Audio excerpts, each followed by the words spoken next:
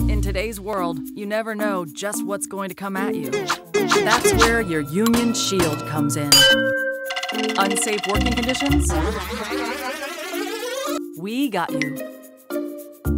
Rising healthcare costs? You're covered. Cost of living going up? Every new contract we bargain ensures fair wages and cost of living increases. Saving for retirement? Got it. Bully boss?